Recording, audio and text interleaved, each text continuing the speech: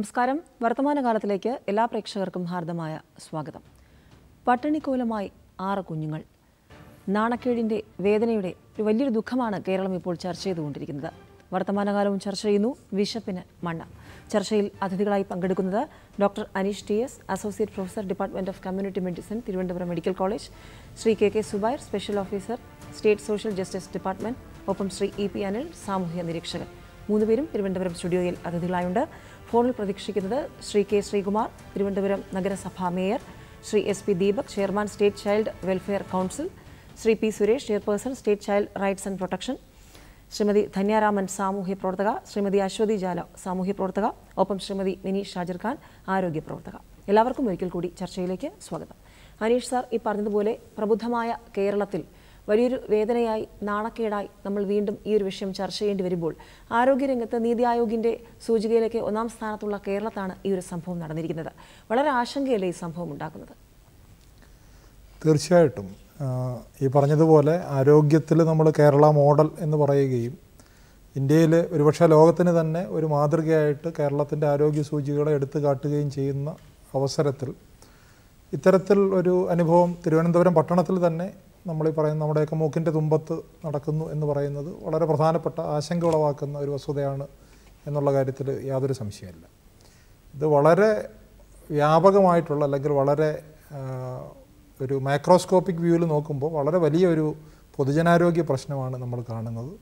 ഇതിനകത്ത് പട്ടിണി ആയിട്ട് ബന്ധപ്പെട്ട പ്രശ്നങ്ങളുണ്ട് വിദ്യാഭ്യാസമായിട്ട് ബന്ധപ്പെട്ട പ്രശ്നങ്ങളുണ്ട് പേരന്റിങ്ങുമായിട്ട് ബന്ധപ്പെട്ട പ്രശ്നങ്ങളുണ്ട് സോഷ്യൽ സെക്യൂരിറ്റി ആയിട്ട് ബന്ധപ്പെട്ട പ്രശ്നങ്ങളുണ്ട്.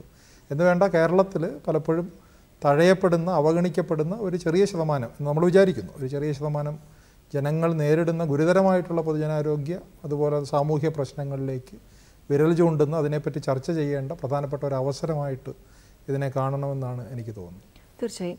സുബേർ സാർ ഇപ്പോൾ പറഞ്ഞതുപോലെ ഒരു അവസരം വേണ്ടി വന്നു വീണ്ടും ഈ വിഷയം ചർച്ച ചെയ്യാൻ. മുൻപ് അട്ടപ്പാടിയിൽ മാധു നമ്മളത് മറന്നിട്ടില്ല കേരളം. അതിനുശേഷം അട്ടപ്പാടിയിലെ ശിശുക്കളുടെ അവസ്ഥ പോഷകാഹാരക്കുറവടക്കം നമ്മൾ ഗൗരവത്തോടെ ചർച്ച ചെയ്യാറുണ്ട്. ഇപ്പോൾ വീണ്ടും തലസ്ഥാന നഗരിയിൽ സാർ സൂചിപ്പിച്ചതുപോലെ സെക്രട്ടേറിയറ്റിൽ നിന്നും കുറച്ചകലം മാത്രമുള്ള ഒരു പ്രധാനപ്പെട്ട കോളനിയിൽ ഇത്രയും ഒരു ദുരിത സാഹചര്യത്തിൽ കുറേ കുഞ്ഞുങ്ങൾ ഒരു അമ്മ അവർ നരകയാതന അനുഭവിക്കുകയായിരുന്നു. ഇതൊന്നും നമ്മൾ കണ്ടില്ല കേട്ടില്ല എന്ന് പറയുമ്പോൾ നമ്മുടെ ഒരു പ്രബുദ്ധ കേരളം എന്ന വാക്ക് പറയാൻ തന്നെ നമുക്കൊരു ബുദ്ധിമുട്ട് തോന്നുന്നൊരു സാഹചര്യമാണ്. ഈ ഒരു വിഷയം സാർ സൂചിപ്പിച്ചതുപോലെ പല മേഖലയിലേക്ക് കടന്നു ചെന്നിരിക്കുകയാണ്. ഒരേ സമയം വിദ്യാഭ്യാസപരമായിട്ടുള്ള പിന്നോക്കാവസ്ഥ ആരോഗ്യ മേഖലയിൽ കിട്ടേണ്ട ഒരു പ്രാധാന്യം കിട്ടാതിരിക്കുക ഒപ്പം ഭക്ഷണം പോലും ഇല്ലാതെ ഒരു നേരത്തിന് ആഹാരം പോലും ഇല്ലാതെ മണ്ണ് വരെ തിന്നേണ്ട ഒരു സാഹചര്യം. ഇതിലേക്ക് കൊണ്ടു എത്തിച്ചതിൽ ഒരു വലിയ ഉത്തരവാദിത്വം എല്ലാവർക്കുമുണ്ട്. താങ്കളുടെ ഒരു പ്രതികരണം എന്താണ് ഈ ഒരു വിഷയത്തെക്കുറിച്ച്? ഇതിൽ പ്രധാനമായിട്ടും കേരളത്തിന്റെ പൊതു പുരോഗതിയോടൊപ്പം ഓടിയെത്താത്ത ഒരു വിഭാഗം ജനങ്ങൾ ഇന്നും കേരളത്തിലുണ്ട് എന്നുള്ളത് അനീഷ് ഡോക്ടർ പറഞ്ഞതുപോലെ തന്നെ വളരെ പ്രധാനപ്പെട്ടതാണ്. അതിൽ വളരെ പ്രധാനപ്പെട്ട ഒരു മേഖലയാണ് ഈ പുറമ്പോക്ക് മേഖല എന്ന് പറയുന്നത്. പെരുമ്പാവൂരിലെ ജിഷ മരിക്കുന്നത് പുറമ്പോക്കിൽ ജീവിച്ചുകൊണ്ടാണ്. എന്റെ ധാരണയനുസരിച്ച് ജിഷ ജീവിച്ചത് മറ്റൊരു പ്രദേശത്തായിരുന്നെങ്കിൽ ജിഷ അങ്ങനെ കൊല്ലപ്പെട്ടില്ലായിരുന്നു. അതോടൊപ്പം തന്നെ നേരത്തെ പറഞ്ഞ മധു പറഞ്ഞു നാലായിരത്തി ഇരുന്നൂറോളം ട്രൈബൽ കോളനികൾ അഥവാ നമ്മുടെ ഈ ആദിവാസി മേഖലകളിൽ വിവിധ ആദിവാസികൾ വസിക്കുന്ന നാലായിരത്തി ഇരുന്നൂറോളം കോളനികൾ എല്ലാവരും അല്ല കോളനികളിൽ വസിക്കുന്നവർ അതോടൊപ്പം തന്നെ ഇരുപത്തിനാലായിരത്തോളം വരുന്ന എസ് സി കോളനികൾ അതോടൊപ്പം ഈ നമ്മുടെ വളരെ ചെറുതാണെങ്കിലും ഈ റെഫ്യൂജി രണ്ടോ മൂന്നോ വരുന്ന ശ്രീലങ്കൻ അഭയാർത്ഥി കോളനികൾ ഇങ്ങനെ വളരെ കുറച്ച് മേഖല കുറച്ച് കോസ്റ്റൽ ഏരിയ ഇങ്ങനെ വളരെ കുറച്ച് മേഖല ഇന്നും കേരളത്തിന്റെ പൊതു പുരോഗതിയൊപ്പം ഓടിയെത്തിയില്ല എന്നുള്ളത് കേരളത്തിലെ സർക്കാർ സംവിധാനങ്ങളും അതോടൊപ്പം തന്നെ പൊതുസമൂഹവും മനസ്സിലാക്കേണ്ടതും മനസ്സിലാക്കിക്കൊണ്ടിരിക്കുന്നതുമായ ഒരു സംഗതിയാണ്. ഈ മേഖലയിലാണ് നമ്മൾ കുട്ടികളുടെ മേഖലയായാലും വനിതകളുടെ മേഖലയിലായാലും അതോടൊപ്പം തന്നെ ഇതുമായി ബന്ധപ്പെട്ട മറ്റ് മേഖലയിലായാലും ഏറ്റവും കൂടുതൽ പ്രതിസന്ധികൾ അനുഭവിക്കുന്നത് എന്നുള്ളത് നമുക്കൊക്കെ അറിയാം. അത് ആരോഗ്യ മേഖലയിലുള്ള പ്രതിസന്ധികൾ വിദ്യാഭ്യാസ മേഖലയിലുള്ള പ്രതിസന്ധികൾ സാമൂഹ്യ സുരക്ഷാ മേഖലയിലുള്ള പ്രതിസന്ധികളൊക്കെ അനുഭവിക്കുന്നത് ഈ പറയുന്ന കുട്ടികളുടെ കാര്യത്തിലാണെങ്കിൽ കേരളത്തിൽ ഏകദേശം ഒരു കോടിയോളം കുട്ടികളുണ്ട്. ഈ ഒരു കോടിയോളം കുട്ടികളിൽ ഏകദേശം ഒരു പത്ത് ലക്ഷത്തോളം കുട്ടികൾ ഇങ്ങനെ വൾണറബിൾ ആണ് എന്നാണ് നമ്മൾ മനസ്സിലാക്കുന്നത്. വൾണറബിൾ എന്ന് പറയുന്ന ഈ വിഭാഗത്തിൽ ഞാൻ ഇപ്പോൾ പറഞ്ഞ ഏറ്റവും പ്രധാനപ്പെട്ട വിഭാഗത്തിലേക്ക് വരുമ്പോൾ വൾണറബിൾ ഏരിയ എന്നുള്ളതിലേക്ക് വരുമ്പോൾ അതൊരു മൂന്ന് ലക്ഷ- ലക്ഷമോ നാല് ലക്ഷമോ ആയിരിക്കാം. പക്ഷേ അത്രയും കുട്ടികളും ഇന്നും വൾണറബിൾ ആണ് എന്നുള്ളത് സത്യം തന്നെയാണ്. പക്ഷേ ഈ പ്രതിസന്ധിയെ ആ തരത്തിൽ മാത്രം നോക്കിക്കണ്ടാൽ പോരാ എന്ന് തോന്നുന്നു. ഒന്നെന്താ പറഞ്ഞാൽ ഒത്തിരി സംവിധാനങ്ങൾ ഉള്ള ഒരു സംസ്ഥാനമാണ് നമ്മുടെ ഇന്ത്യയിൽ. ഏറ്റവും ഗൗരവമായി സംവിധാനങ്ങൾ രൂപീകരിക്കപ്പെട്ട സംസ്ഥാനമാണ്. ആളുകൾക്ക് ഒരു പരിധി വരെ ഒരു പരിധി വരെ ഈ നമ്പറുകൾ അത് എന്താണ് ഇതുമായി ബന്ധപ്പെടേണ്ട നമ്പറുകൾ എങ്ങനെ ബന്ധപ്പെടാം ഇതിനെക്കുറിച്ച് ഒരുവിധം അവബോധമുള്ള സമൂഹമാണ്. എന്നിട്ടും ഇത്രയും വൾണറബിളായിട്ടുള്ള അവസ്ഥയിലുള്ള കുട്ടികളെ കുറിച്ച് റിപ്പോർട്ട് ചെയ്യാൻ വൈകിപ്പോയോ എന്നുള്ളൊരു ചർച്ച കേരളീയ പൊതുസമൂഹം നടത്തേണ്ടത് വളരെ പ്രധാനപ്പെട്ടതാണ്.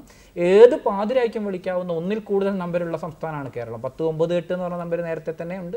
അതോടൊപ്പം തന്നെ പതിനഞ്ച് പതിനേഴ് എന്ന് പറഞ്ഞ നമ്പരുണ്ട്. പോലീസിന്റെ നമ്പരുണ്ട്. ഈ നമ്പറുകളിൽ അറിയിക്കാനെങ്കിലും കേരളത്തിലെ ആരെങ്കിലും ഒരാൾ ഞാൻ പറഞ്ഞു വന്നത് സർക്കാരിന് ഉത്തരവാദിത്വം കൃത്യമായിട്ടുണ്ട് അപ്പം അതിലേക്ക് ഏതെങ്കിലും തരത്തിലൊരു ബന്ധപ്പെടുത്തൽ ഈ മേഖലയിൽ നിന്നുണ്ടായോ? നേരത്തെ തന്നെ ഉണ്ടായോ? ഉണ്ടായി അവസാനം? എങ്കിലും നേരത്തെ തന്നെ ഉണ്ടായോ എന്നുള്ളത് ഏത് മേഖലയിലായാലും ഇങ്ങനെ ബുദ്ധിമുട്ട് അനുഭവിക്കുന്ന കുട്ടികളുടെ കാര്യത്തിൽ ഇങ്ങനെ നിരവധി സംവിധാനങ്ങൾ ഉണ്ടായിട്ടും അങ്ങനെ ഉണ്ടായോ എന്നുള്ളത് നമ്മൾ ഓരോരുത്തരും പ്രത്യേകിച്ച് പൊതുസമൂഹത്തിലെ ഓരോരുത്തരും പരിശോധിക്കേണ്ടതാണ് എന്നുള്ളതാണ് അതിനോടുള്ള ആദ്യ പ്രതികരണം. തീർച്ചയായും. അനിൽ സാർ ഒരു ആത്മപരിശോധന നടത്തേണ്ട സമയമാണ്. സർക്കാർ സംവിധാനങ്ങളായാലും പൊതുസമൂഹമായാലും ഓരോ വ്യക്തിയായാലും. നേരത്തെ ജിഷയുടെ കാര്യം സൂചിപ്പിച്ചതുപോലെ പെരുമ്പാവൂരിൽ അങ്ങനെ ഒരു സംഭവം ഉണ്ടായപ്പോൾ ഒരുപക്ഷെ പൊതുസമൂഹത്തിന്റെ ഒരു ജാഗ്രത കുറവ് തൊട്ടടുത്ത വീട്ടിൽ എന്ത് നടക്കുന്നു എന്ന് പോലും അറിയാത്തൊരു സമൂഹം അന്ന് അതിന് കൊടുക്കേണ്ടി വന്ന വില. ഇപ്പോൾ ഇതുപോലെ നഗര പ്രദേശത്ത് തന്നെയാണ്. അവിടെ ഇത്രയും അധികം പേർ പുറംപോക്കിൽ താമസിക്കുന്നുണ്ട്. നിരവധി കർമ്മ പരിപാടികൾ കുട്ടികൾക്കും സ്ത്രീകൾക്കുമായുണ്ട്. അതിനെക്കുറിച്ച് അവർക്ക് അറിവില്ലെങ്കിൽ പോലും അത് ചെയ്യേണ്ടവർ പോലും അത് കൃത്യമായി ചെയ്തില്ല അറിയിച്ചില്ല എന്നൊരു ഗൗരവമുള്ളൊരു അവിടെ ഒരു ജാഗ്രത കുറവ് കൂടി ഇതിൽ ഉണ്ടായിട്ടില്ല. അപ്പോൾ എവിടെ മുതലാണ് ഇനി തിരുത്തേണ്ടത്? അടിസ്ഥാനപരമായി ഇപ്പോൾ കേരളത്തിൽ സംഭവിച്ച തിരുവനന്തപുരത്ത് നഗരത്തിനുള്ളിൽ തന്നെ സംഭവിച്ച ഈ വിഷയത്തെ ഒറ്റപ്പെട്ട സംഭവമായി അവതരിപ്പിക്കാനുള്ള ശ്രമം ആരുടെ ഭാഗത്തുനിന്നുണ്ടായാലും അതിനെ ഗൗരവതരമായി നമുക്ക് പ്രതിരോധിക്കേണ്ടതുണ്ട്. കാരണം ഇത്തരം സംഭവങ്ങളെ ഒറ്റപ്പെട്ടത് എന്ന രീതിയിൽ ചുരുക്കുന്ന ഒരു രീതി പൊതുവെ നമ്മളും മാധ്യമങ്ങളും ഒക്കെ ശ്രമിക്കും നടത്താറുണ്ട്. അതിനെ നമ്മൾ പ്രതിരോധിക്കണം. ഇത് ഇത് കേരളത്തിന്റെ ഈ പിന്നെ വളരെ ആരോഗ്യകരമെന്ന് നമ്മൾ അവകാശപ്പെടുന്ന അഭിമാനിക്കുന്ന ഈ സംവിധാനത്തോടുള്ള ഏതെങ്കിലും തരത്തിലുള്ള വില കുറച്ച് കാണിക്കലായി ഈ വിമർശനത്തെ ദയവായി കാണാതിരിക്കുകയും വേണം. നോക്കൂ കേരളത്തിലെ ഈ പറയുന്ന ആരോഗ്യരംഗത്തെ പുരോഗതി വിദ്യാഭ്യാസ രംഗത്തെ പുരോഗതി ഇതിന്റെയൊക്കെ ആത്യന്തികമായ കരുത്ത് നമ്മൾ നേടിയത് രാഷ്ട്രീയമായ നമ്മുടെ ശക്തമായ നിലപാടുകളിലൂടെയായിരുന്നു. ഒരു രാഷ്ട്രീയ ഇച്ഛാശക്തിയിലൂടെയാണ് ഈ വലിയ മുന്നേറ്റങ്ങളൊക്കെ സാധ്യമായത്. ഇത് പറയുമ്പോൾ ഈ രാഷ്ട്രീയ ഇച്ഛാശക്തി എന്ന് പറയുന്ന ജനാധിപത്യപരമായ ഒരു കേരളം രൂപീകരിക്കുന്നതിന് മുമ്പ് തന്നെ. നോക്കൂ തിരുവിതാംകൂർ രാജഭരണം ഉള്ളപ്പോൾ തന്നെ സംസ്ഥാനത്ത് പക്ഷിക്ഷാമം ഉണ്ടായപ്പോൾ മരച്ചീനി പോസ്റ്റ് ഓഫീസ് വഴി വിതരണം ചെയ്യാൻ തീരുമാനമെടുത്ത ഒരു പ്രദേശം എന്ന തരത്തിൽ. മലേറിയ വന്നാൽ മലേറിയൽ ടാബ്ലറ്റുകൾ പോസ്റ്റ് ഓഫീസ് വഴി വിതരണം ചെയ്യാം. എന്നൊക്കെ പറയുന്ന ഒട്ടേറെ പോലീസ് സ്റ്റേഷനുകൾ എത്ര പേർ ഓർക്കുന്നു എനിക്കറിയില്ല. പോലീസ് വിഷം തീണ്ടിയാൽ പാമ്പ് കടിയേറ്റാൽ പോലീസ് സ്റ്റേഷനിൽ നിന്ന് മരുന്ന് വിതരണം ചെയ്യാനുള്ള ഒരു സംവിധാനത്തെ പറ്റി ഏഹ് ചരിത്ര പുസ്തകങ്ങളിൽ നമുക്ക് വായിച്ചെടുക്കാം. അപ്പോൾ അത്രമാത്രം ഒട്ടേറെ കാരണങ്ങൾ കൊണ്ട് തന്നെ ചരിത്രപരമായി ഒട്ടേറെ എന്താ ക്ഷേമ രാഷ്ട്ര ബോധമുണ്ടായിരുന്ന ഒരു പൊതുസമൂഹത്തിൽ വളരെ കൃത്യമായ രാഷ്ട്രീയ മുന്നേറ്റത്തിലൂടെ കേരളം ഒട്ടേറെ നമ്മൾ മുന്നോട്ട് പോകുമ്പോൾ നിലവിൽ കേരളം അനുഭവിക്കുന്ന ഒരു പ്രതിസന്ധി വളരെ കൃത്യമായ രാഷ്ട്രീയ പ്രതിസന്ധിയുടെ ഭാഗമാണ്. നമ്മൾ വളരെ വികസനത്തെപ്പറ്റി വളരെ വാതോരാടെ സംസാരിക്കുന്നു. വലിയ പദ്ധതികളെപ്പറ്റി പറയുന്നു. കേരളത്തിലെ ഹ്യൂമൻ ഡെവലപ്മെന്റ് ഇൻഡെക്സ് ജീവിത സൂചികയെ തന്നെ നമ്മൾ കുതിക്കുകയാണ് എന്നൊക്കെ പറയുമ്പോഴും നമ്മൾ കുറച്ചുകൂടി ഗൗരവതരമായി പരിശോധിച്ചാൽ ഈ ജീവിത സൂചികയുടെ കുതിപ്പിലേക്ക് എത്തപ്പെടാൻ കഴിയാതെ പോകുന്ന ഈ മുമ്പ് പറഞ്ഞ ഇരുപത്തിനാലായിരവും ഇരുപത്തയ്യായിരവും വരുന്ന കോളനിയിൽ താമസിക്കുന്ന വിഭാഗം അവരെ ഞാൻ ഞാൻ വർഗപരമായും വർഗീയമായിട്ടുമാണ് പരിചയപ്പെടുന്നത്. അത് ഭൂരിപക്ഷവും ദളിത് ആദിവാസി പിന്നോക്ക വിഭാഗത്തിൽപ്പെട്ടവരാണ്.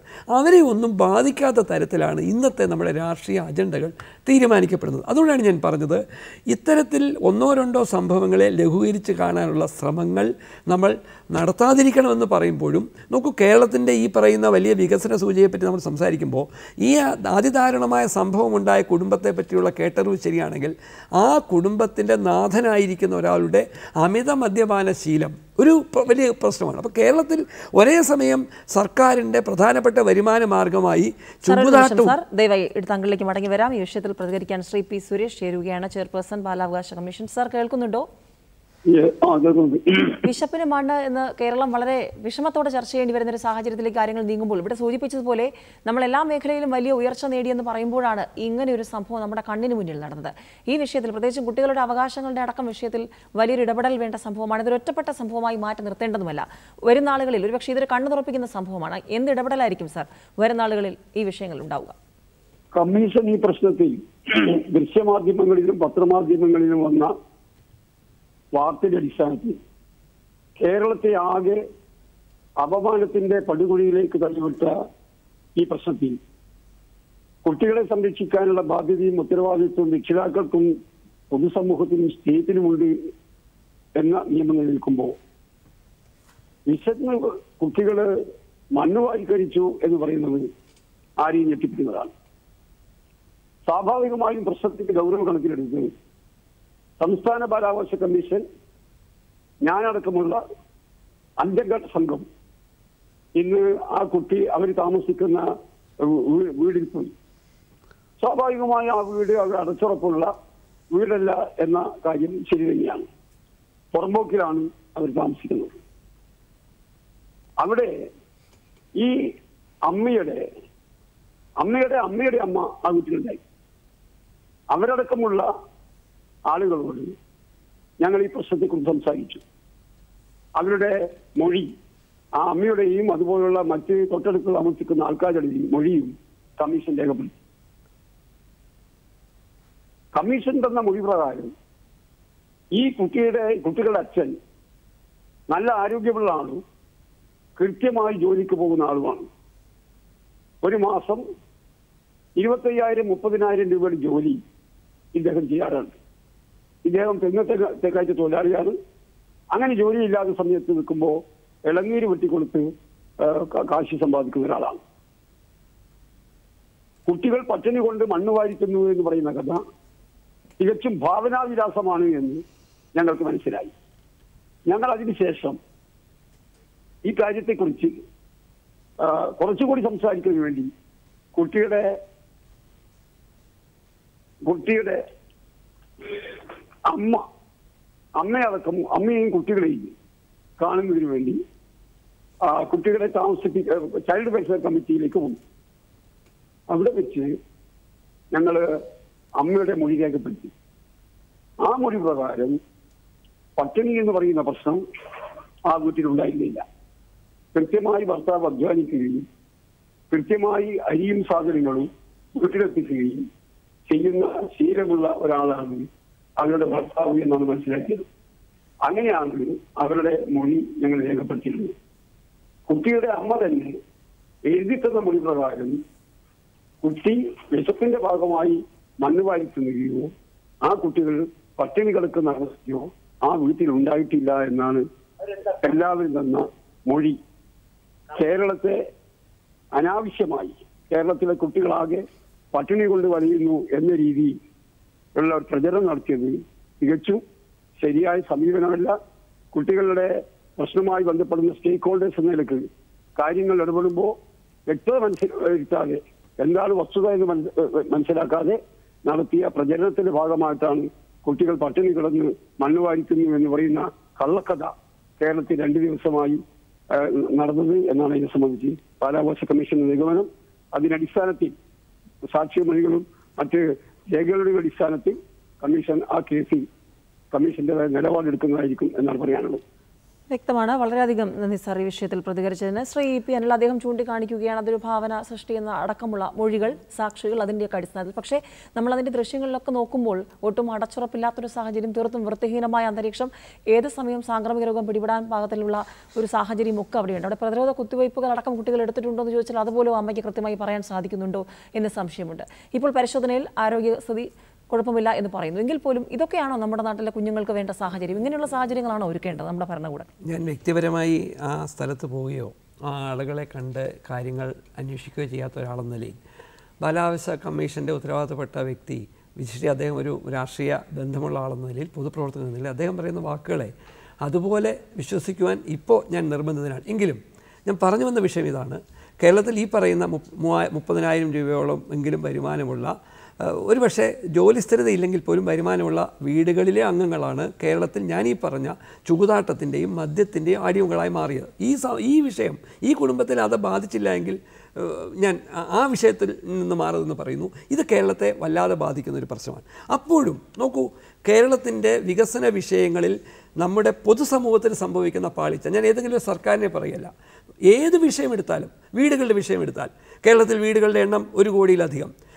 കുടുംബ അംഗങ്ങളുടെ എണ്ണം എഴുപത്തിരണ്ട്. അപ്പോഴും എഴുപത്തിരണ്ട് ലക്ഷം. അപ്പോഴും ഈ പറയുന്ന കൈതമുക്കിന്റെ ഈ ഈ റെയിൽവേ ട്രാക്കിന്റെ അടുത്ത് താമസിക്കുന്ന ആളുകളുടെ ജീവിത നിലവാരം പരിശോധിച്ചാൽ ഈ വീടുകളിൽ നിന്ന് വരുന്ന ക്ലിപ്പിങ്സ് എടുത്ത് പരിശോധിച്ചാൽ ആ കുട്ടികളുടെ ശുചിത്വ ബോധം എടുത്ത് പരിശോധിച്ചാൽ അവരുടെ ശാരീരികമായ കരുത്തെടുത്ത് പരിശോധിച്ചാൽ ഈ പറയുന്ന ഉത്തരവാദപ്പെട്ട ശിശുക്ഷേമ സമിതിയുടെ അധ്യക്ഷൻ പറയുന്ന വസ്തുത എനിക്ക് വ്യക്തിപരമായി അങ്ങനെ വിഴുങ്ങാൻ കഴിയില്ല. ഇനി അങ്ങനെ അല്ലെങ്കിൽ പോലും കേരളത്തിന്റെ പൊതു സമൂഹത്തിൽ അറിഞ്ഞിരിക്കേണ്ട ചില കാര്യം ഇന്ത്യയിൽ ഈ വലിയ വികസനത്തെ പറ്റിയൊക്കെ കൊട്ടിഘോഷിക്കുമ്പോൾ ഇന്ത്യയിൽ ഭക്ഷ്യ ഭക്ഷണശീലത്തിൽ പ്രോട്ടീനിന്റെ അളവ് ദേശീയ ശരാശരിയേക്കാൾ കുറവുള്ള ഒരു സാഹചര്യം കേരളത്തിൽ നിലവിലുണ്ട്. കേരളത്തിലെ കുഞ്ഞുങ്ങൾ ഈ ബി എം ഐ ഇൻഡെക്സിലൊക്കെ വളരെ വലിയ പിന്നെ നിലവാരമുണ്ടോ ചോദിച്ചാൽ ബോഡി മാസ് ഇൻഡെക്സിൽ പോലും കേരളത്തിലെ കുഞ്ഞുങ്ങളുടെ അവസ്ഥ അത്ര ആരോഗ്യകരമല്ല. അപ്പോൾ കേരളത്തിൽ നിലവിലുള്ള വികസനത്തിന്റെതായ വലിയ വലിയ കൊട്ടിഘോഷങ്ങൾ നടത്തുമ്പോഴും പാർശ്വവൽക്കരിക്കപ്പെടുന്നു എന്ന് വിശ്വസിക്കുന്ന ഒരു വലിയ വിഭാഗം കുടുംബങ്ങൾ അവിടുത്തെ കുഞ്ഞുങ്ങൾ അവിടുത്തെ മുതിർന്ന വിശിഷ്യ അമ്മമാർ ഇവരൊക്കെ ഞാൻ ഞാൻ പറയുന്നു ഈ പറയുന്ന ഹ്യൂമൻ ഡെവലപ്മെന്റ് ഇൻഡെക്സിന്റെ ഈ രേഖയിലൊന്നും ഇവരാരും വരുന്നില്ല. കേരളത്തിലെ ലക്ഷം വീട് കോളനികളിലെ ജനങ്ങളുടെ ആയുർദൈർഘ്യം പ്രത്യേകമായി പരിശോധിച്ചാൽ അവരുടെ ആയുർദൈർഘ്യം കേരളത്തിന്റെ പൊതു ആയുർദൈർഘ്യമായ എഴുപത്തേഴിലോ ഒരുപക്ഷെ എഴുപതിലോ വരുന്നില്ല എന്നുള്ള യാഥാർത്ഥ്യത്തെ കാണണം. ഇത് ഒറ്റപ്പെട്ട ഒരു സംഭവമായി ഊതി വീർപ്പിച്ച് ഏതെങ്കിലും നിലവിലുള്ള സർക്കാരിനെതിരെയുള്ള ഒരു ആക്രമണം എന്ന രീതിയിലേക്ക് വിലയിരുത്താതെ ഇങ്ങനെയുള്ള ചില സംഭവങ്ങൾ ഒറ്റപ്പെട്ടാണെങ്കിൽ പോലും കേരളത്തിൽ ഒരു കാരണവശാലും സംഭവിക്കാൻ പാടില്ല എന്നുള്ള ഉറപ്പാണ് പൊതുപ്രവർത്തകരിൽ നിന്നും സർക്കാർ ഉദ്യോഗസ്ഥന്മാരിൽ നിന്നും പൊതുസമൂഹത്തിൽ നിന്നും നമുക്ക് നേടിയെടുക്കാൻ കഴിയേണ്ടത്. തീർച്ചയായും. ഡോക്ടർ അനീഷയുടെ സൂചിപ്പിച്ചതുപോലെ പ്രത്യേകിച്ച് ഒരു ഒറ്റപ്പെട്ട സംഭവമായി കണക്കാക്കാതെ പലയിടത്തായി കേരളത്തിൽ അങ്ങോളം ഇങ്ങോളം ഇത്തരത്തിൽ ചില ആശങ്കകളുണ്ട്. അവിടെ അദ്ദേഹം സൂചിപ്പിച്ചതുപോലെ ശുചിത്വമായി ബന്ധപ്പെട്ടുള്ള കാര്യങ്ങൾ. ആ നമുക്ക് ദൃശ്യങ്ങളിൽ തന്നെ വ്യക്തമാണ്. അത്രയും വൃത്തിഹീനമായ ഒരു സാഹചര്യത്തിൽ ആ കുഞ്ഞുങ്ങൾ കഴിയുന്നു. അവിടെ ഏത് സമയത്തും എങ്ങനെയും ഒരു രോഗം വരാനുള്ള സാധ്യതയുണ്ട്. ഒപ്പം പോഷകാഹാരത്തിന്റെ കാര്യമടക്കം അദ്ദേഹം സൂചിപ്പിച്ചതുപോലെ നേരാവണ്ണം ഭക്ഷണമില്ലാത്ത കുട്ടികൾക്ക് പിന്നെ പോഷകാഹാരത്തെക്കുറിച്ച് എന്താണ് അവർ പറയേണ്ടത്? ഒരുപക്ഷെ ആരോടാണ് അവർ പറയേണ്ടത്? ഇങ്ങനെ ഒരുപാട് ചോദ്യങ്ങളാണ് ഇപ്പോൾ കേരള സമൂഹം ഉത്തരം പറയേണ്ടതായി വന്നിരിക്കുന്നത്. ആരോഗ്യ രംഗത്തടക്കം നമ്മൾ നേരത്തെ സൂചിപ്പിച്ച വലിയ കണക്കുകളെക്കുറിച്ച് പറയുമ്പോൾ അത്രയും ഗൗരവത്തോടെ തന്നെ നമ്മൾ എല്ലാ മേഖലകളിലേക്കും പ്രത്യേകിച്ചും പാർശ്വവൽക്കരിക്കപ്പെട്ട ഒരു വിഭാഗത്തിലേക്ക് ഇതെല്ലാം എത്തുന്നുണ്ടോ സാർ ഇപ്പോൾ? ഇപ്പോൾ ബഹുമാനപ്പെട്ട ശിശുക്ഷേമ സമിതി അല്ലേ? ശിശു അല്ലേ? ബാലാവകാശ ബാലാവകാശ കമ്മീഷന്റെ ഉത്തരവാദിത്തപ്പെട്ട അദ്ദേഹം പറഞ്ഞതുപോലെ നമുക്ക് ഈ ഒരു കേസ് ഇപ്പോൾ ഈ പറയുന്ന രീതിയിൽ ഒരുപക്ഷെ പക്ഷേ ഊതി വീർപ്പിക്കപ്പെട്ടതോ അല്ലെന്നുണ്ടെങ്കിൽ വസ്തുതകൾക്ക് നിരക്കുന്നതോ ആയിരിക്കണം എന്നില്ല. പക്ഷേ എങ്കിൽ പോലും ഇത് ഒരു പ്രധാനപ്പെട്ട അവസരമാണ് ഈ ഒരു കാര്യത്തെപ്പറ്റി സംസാരിക്കാനായിട്ട്. അത് മാത്രമല്ല ഇവിടെ പലരും സൂചിപ്പിച്ചതുപോലെ കുട്ടിക്ക് ആവശ്യത്തിനുള്ള ഭക്ഷണം കിട്ടുന്നുണ്ടാകാം. ഒരു പക്ഷേ കുട്ടി മണ്ണ് വാരി തിന്നത്. പല കുട്ടികളും ഒരു കൗതുകത്തിന് ഒരു പക്ഷേ മണ്ണ് വാരി തിന്നാറുണ്ട്. അപ്പോൾ പലപ്പോഴും പൊതുവേ ഭക്ഷണം ഇപ്പം നമ്മൾ മൂന്ന് നേരം നമുക്ക് ഭക്ഷണം കിട്ടുന്ന ഒരു കുട്ടിയാണെങ്കിലും മണ്ണ് വാരി കഴിക്കുന്നതിന് മറ്റ് ഒരുപാട് അർത്ഥങ്ങളുണ്ട്. ഇപ്പോൾ ഒന്ന് പലപ്പോഴും കാണാറുള്ള ഒരു കാര്യം ഒരുപക്ഷെ നമ്മുടെ കൂട്ടത്തിലിരിക്കുന്ന ആളുകൾക്ക് തന്നെ അറിയാമായിരിക്കും. അനീമിയ അതായത് വിളർച്ച ഇരുമ്പ് സത്തിന്റെ കുറവ് ശരീരത്തിലുണ്ട് എന്നുണ്ടെങ്കിൽ കുട്ടികൾക്ക് മണ്ണ് തിന്നുന്ന ഒരു സ്വഭാവം ഉണ്ടാകും അപ്പോൾ അത് ഒരുപക്ഷെ സൂക്ഷ്മ പോഷകങ്ങളുടെ കുറവ് കുട്ടിക്ക് ഉള്ളതുകൊണ്ട് ഒരുപക്ഷെ വിശപ്പടക്കാൻ വേണ്ടി ആകണമെന്നില്ല. ഒരുപക്ഷെ കുട്ടി മണ്ണ് തിന്നിരിക്കാം. അല്ലെന്നുണ്ടെങ്കിൽ മണ്ണ് തിന്നിട്ടേ ഉണ്ടാകില്ല. പക്ഷേ എങ്കിൽ പോലും കേരളത്തിൽ ഈ പറഞ്ഞതുപോലെ ഭക്ഷണമില്ലാത്ത അല്ലാന്നുണ്ടെങ്കിൽ ആരോഗ്യത്തിന് ഈ പറഞ്ഞ രീതിയിലുള്ള ഒരു ആരോഗ്യരക്ഷാ സംവിധാനങ്ങളില്ലാത്ത ധാരാളം കുട്ടികൾ നമ്മുടെ ഇടയിൽ ഉണ്ട് എന്നുള്ളത് ഒരു വസ്തുതയാണ്. അതിപ്പോൾ ഈ ഒരു കേസിൽ ഈ പറയുന്ന രീതിയിലാണെങ്കിലും അല്ലെങ്കിലും ഈ പറയുന്ന വസ്തുതയുടെ ഒരു ഗൗരവം ഇല്ലാതെയാകുന്നില്ല. അപ്പോൾ അതുകൊണ്ട് തന്നെ ഈ പറഞ്ഞതുപോലെ ഇത്തരത്തിലുള്ള കുട്ടികളെ കുട്ടികളെ മാത്രമല്ല മുതിർന്നവരെയും ഇത്തരത്തിൽ പാർശ്വവൽക്കരിക്കപ്പെട്ടുന്ന ആളുകൾ ഇപ്പം നമ്മുടെ ആയുർദൈർഘ്യം വളരെയധികം വർദ്ധിച്ചു വരുന്നതിന്റെ കൂട്ടത്തിൽ ഇതിനകത്ത് വളരെ പ്രായം ചെന്ന ആളുകളുമുണ്ട് കുട്ടികൾ മാത്രമല്ല വളരെ പ്രായം ചെന്ന ഈ കുട്ടിയുടെ അമ്മ അമ്മൂമ്മയുടെ അമ്മ എന്ന് പറയുന്ന ഒരു സ്ത്രീ പോലെ അവിടെയുണ്ട്. അപ്പോൾ ഇത്തരത്തിൽ ഈ പിന്നെ വൾണറബിളായിട്ടുള്ള പല ആളുകൾ ഒന്ന് ഈ സോഷ്യൽ വൾണറബിലിറ്റി ഇവർക്ക് ഈ പറയുന്ന സമൂഹത്തിന്റെ ഇപ്പം നേരത്തെ സുബൈർ സാർ സൂചിപ്പിച്ചതുപോലെ പൊതുധാരയിൽ നിന്നും വെളിയിലാക്കപ്പെട്ട ഒരു തരം സാമൂഹ്യ വിഭാഗത്തിൽപ്പെട്ട ആളുകളാണ് എന്നുള്ള ഒരു വശത്ത്. അതിൽ തന്നെ കുട്ടികൾ അപ്പോൾ അങ്ങനെ ഉള്ളവരുടെ ഇടയിൽ കുട്ടികളുടെ എണ്ണം ഒരുപക്ഷെ കൂടുതലായിരിക്കും. കുട്ടികൾ പിന്നെ വളരെയധികം പ്രായം ചെന്ന ആളുകൾ ഇവരൊക്കെ വളരുന്ന അല്ലെങ്കിൽ ജീവിക്കുന്ന ഒരു സാഹചര്യം കെട്ടുറപ്പില്ലായ്മയുടെ കാര്യം ജിഷയുടെ ഒരു ഉദാഹരണം വഴി സാറ് സൂചിപ്പിച്ചു.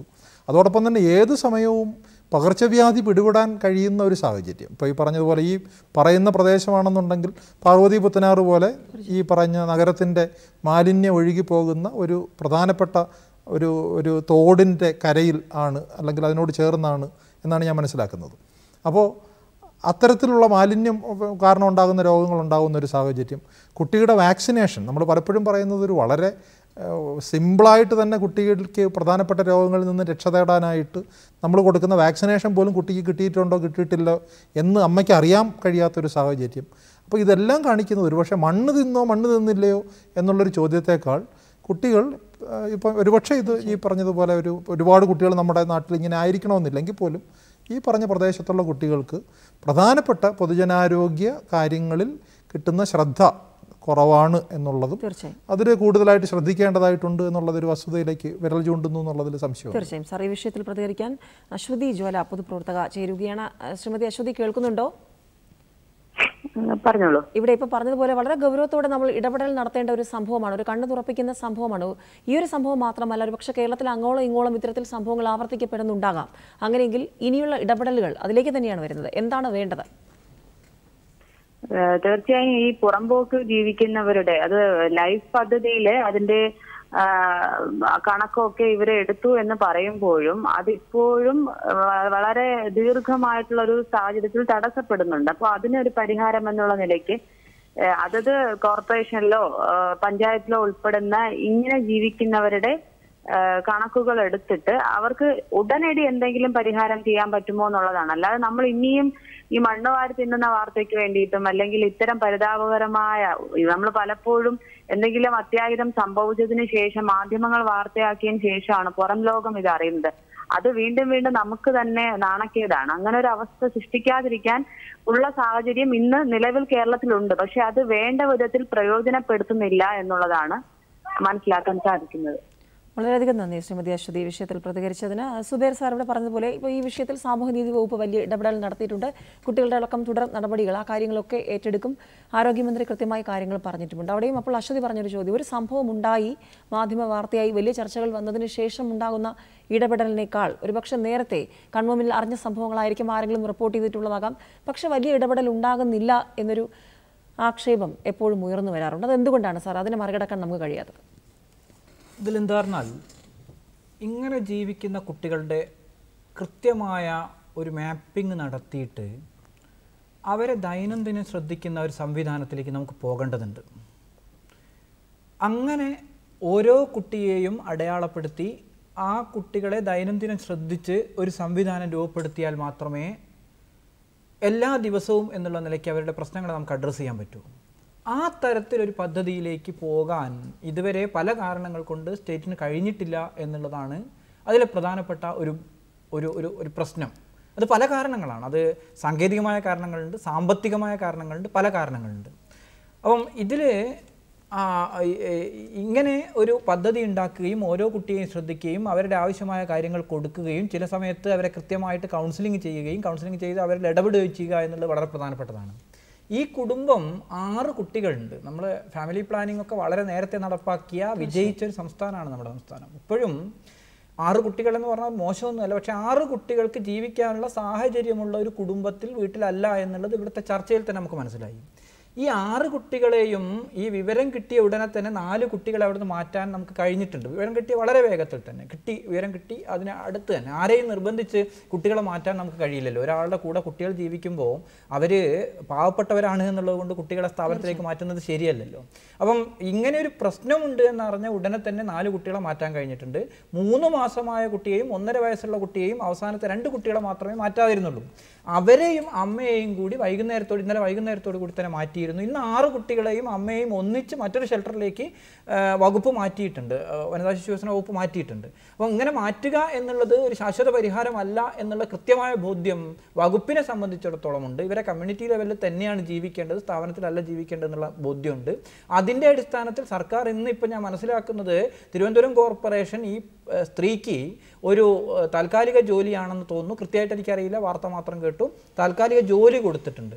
ഇനി ആ ലേഡിയെ തിരിച്ചു കൊണ്ടുവന്ന് അവരുടെ നേതൃത്വത്തിൽ ഈ കുട്ടികളെ വളർത്തുന്ന ഒരു സ്ഥിതിയിലേക്ക് കാര്യങ്ങൾ പോകേണ്ടതുണ്ട്. ഞാൻ മനസ്സിലാക്കുന്നത് മനസ്സിലാക്കുന്നത് മാത്രം. ഫീൽഡ് ലെവൽ വിവരങ്ങൾ കിട്ടിയതനുസരിച്ച് ആ കുടുംബത്തിൽ അച്ഛന് കൃത്യമായ വരുമാനമുണ്ടെങ്കിലും ആ വരുമാനം വേണ്ടത്ര ഗുണകരമായി വീട്ടിലെത്തിയോ?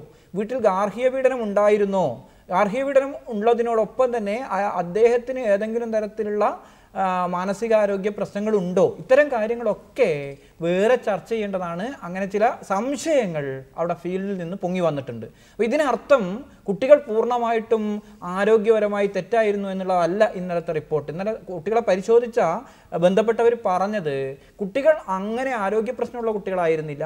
കുട്ടികൾ മണ്ണ് വാരി തിന്നു എന്ന് പറയുന്നതിൽ ചില സംശയങ്ങൾ രേഖപ്പെടുത്തുന്നു.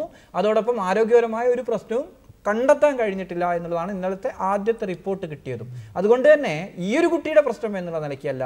മൊത്തം കേരളത്തിലെ ഇതുപോലുള്ള അൻസാർ പറഞ്ഞതുപോലെ ഇതുപോലുള്ള പ്രതിസന്ധികളെ എങ്ങനെ തരണം ചെയ്യാം എന്നുള്ള വളരെ ഗുണകരമായ ഒരു ചർച്ചയിലേക്ക് ഇത് പോകേണ്ടതുണ്ട് എന്നാണ് നമുക്ക് പറയാനുള്ളത്. അതിന് വൾണറബിലിറ്റി മാപ്പിംഗ് നടത്തി ഓരോ കുട്ടിയെയും അടയാളപ്പെടുത്തേണ്ടത് തീർച്ചയായും. അനിൽ സാർ ഇപ്പോൾ അദ്ദേഹം പറഞ്ഞ പോലെ ഇനിയുള്ള പരിഹാരത്തിലേക്ക് തന്നെ പോകുമ്പോൾ ഈ വിഷയത്തിൽ പ്രതികരിക്കാൻ ശ്രീ എസ് പി ദീപക് ചേരുകയാണ്. സാർ കേൾക്കുന്നുണ്ടോ?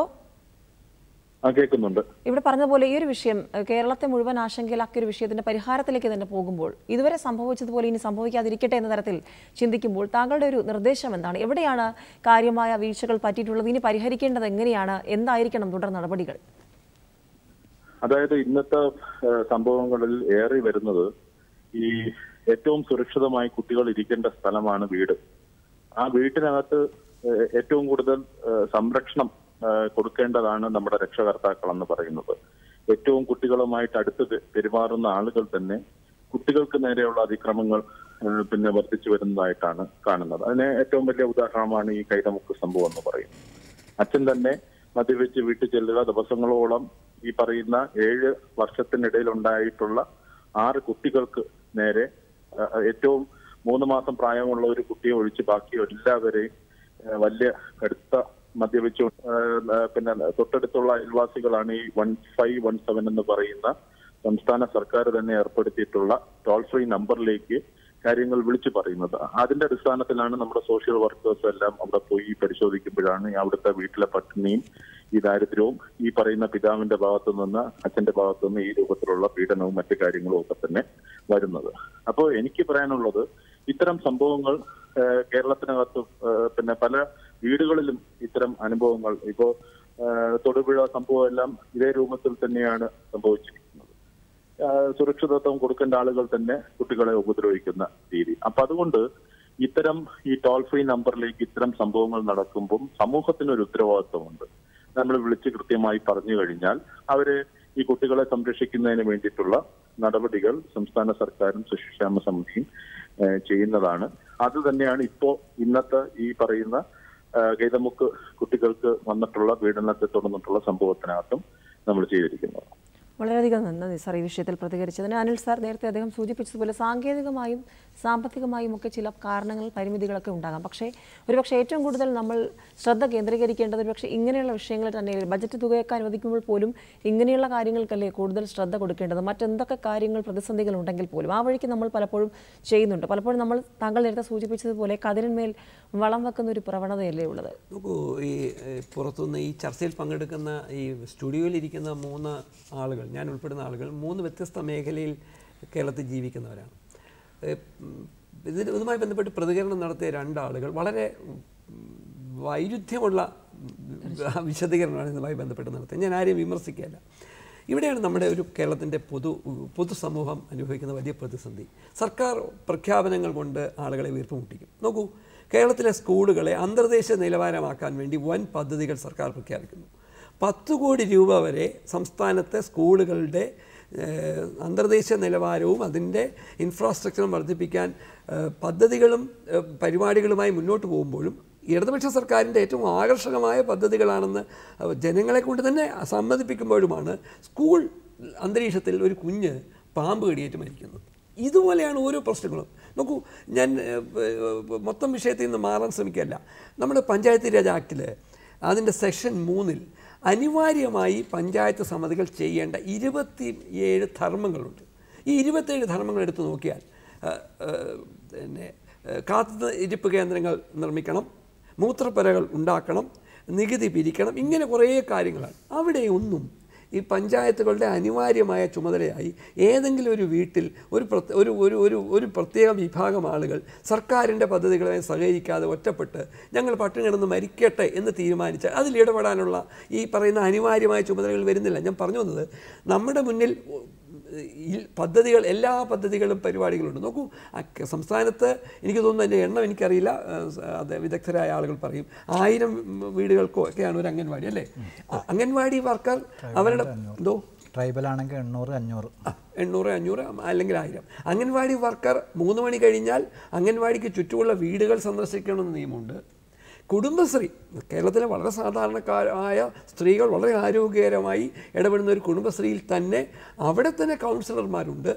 ഇതെല്ലാം അതിനുമൊക്കെ ഉപരി സ്നേഹിത കോളിംഗ് സൗകര്യമുണ്ട്. എന്ന് പറഞ്ഞ അർത്ഥം സംസ്ഥാനത്തെ ഏറ്റവും സൂക്ഷ്മമായ ഒരു ഇടം മുതൽ അങ്ങേയറ്റം വരെയുള്ള വിഷയങ്ങൾ ഇടപെടാനുള്ള സംവിധാനങ്ങൾ ഒരുങ്ങിക്കൊണ്ടിരിക്കുക ഇല്ലെങ്കിൽ ഉണ്ട് എന്ന് അവകാശപ്പെടുമ്പോഴാണ് ഇത്തരം സംഭവങ്ങൾ ഉണ്ടാകുന്നതെങ്കിൽ അവിടെ ഒന്ന് നമ്മുടെ ജാഗ്രതക്കുറവ് വ്യക്തി എന്ന നിലയിലുള്ള നമ്മുടെ ജാഗ്രതക്കുറവ് കുടുംബങ്ങൾക്ക് ഈ വിഷയങ്ങളിൽ നിന്നൊക്കെ ഒളിച്ചോടാനുള്ള അവസരം രാഷ്ട്രീയ പ്രസ്ഥാനങ്ങളുടെ ഉത്തരവാദിത്തപ്പെട്ട ആളുകൾക്ക് ജനപ്രതിനിധികൾ ഉൾപ്പെടുന്നവർക്ക് ഈ വിഷയങ്ങളിൽ വേണ്ടത്ര ഉത്തരവാദിത്ത ബോധം ഇല്ലാതാകൽ ഉദ്യോഗസ്ഥന്മാരെ സംബന്ധിച്ചിടത്തോളം അവർക്ക് പലതും പറഞ്ഞ് രക്ഷപ്പെടാനുള്ള സാഹചര്യം മൊത്തത്തിൽ ആരെയാണിത് ബാധിക്കുന്നത്?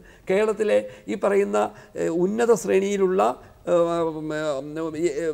മറ്റൊരു ഭാഷയിൽ പറഞ്ഞാൽ സർക്കാർ ഉദ്യോഗസ്ഥന്മാരെന്ന് എളുപ്പത്തിൽ പറയാവുന്ന നിലവാരത്തിലുള്ള കുടുംബങ്ങളിലെ ഒരാളെയും ഇതൊന്നും ബാധിക്കുന്നില്ല. ഇത് ബാധിക്കുന്ന ആരെയാണ്? ഞാൻ മുമ്പ് പറഞ്ഞ നിരന്തരമായി ലോട്ടറി എടുക്കാൻ ഇഷ്ടപ്പെടുന്ന നിരന്തരമായി മദ്യപിക്കാൻ ഇഷ്ടപ്പെടുന്ന ഒരു പ്രത്യേക വിഭാഗം സമൂഹമായി ഇവിടെ കുറേ ആളുകൾ മാറിയിട്ടുണ്ട്. അവരുടെ കുടുംബത്തെ വ്യക്തിപരമായി പോലും കണ്ട് ഇടപെട്ട് അവിടുത്തെ കുഞ്ഞുങ്ങളുടെ സുരക്ഷിതത്വം പ്രദാനം ചെയ്യുക എന്നുള്ളത് പ്രാഥമിക ഉത്തരവാദിത്ത ബോധത്തിലേക്ക് നമ്മുടെ ഉദ്യോഗസ്ഥന്മാരെ വളർത്തിയെടുക്കേണ്ടതുണ്ട്. ആ ഉത്തരവാദിത്ത ബോധം നമ്മുടെ വാർഡ് മെമ്പർമാർ മുതലുള്ള എല്ലാ ആളുകളും ചെയ്യേണ്ടതുണ്ട്. അവിടെ ഉണ്ടാകുന്ന പാളിച്ചകളെ നമ്മൾ ലഘൂകരിച്ച് കാണാൻ ശ്രമിക്കുമ്പോഴാണ് അവിടെ ഉണ്ടാകുന്നത്. അപ്പോഴും ബജറ്റിൽ ഇന്ത്യക്കാകെ മാതൃകയായി ആരോഗ്യരംഗത്ത് വിദ്യാഭ്യാസ രംഗത്ത് ക്ഷേമ പദ്ധതികളുടെ ഭാഗത്ത് വലിയ വലിയ വാർത്തകൾ സൃഷ്ടിക്കാൻ കഴിയുന്ന കേരളത്തിലുണ്ടാകുന്ന ഓരോ ഇത്തരം സംഭവങ്ങളും നമ്മളെ വല്ലാതെ വേദനിപ്പിക്കും. തീർച്ചയായും. ശ്രീമതി ധന്യ രാമൻ ചേരുകയാണ് സാമൂഹ്യ പ്രവർത്തക. ശ്രീമതി ധന്യ കേൾക്കുന്നുണ്ടോ?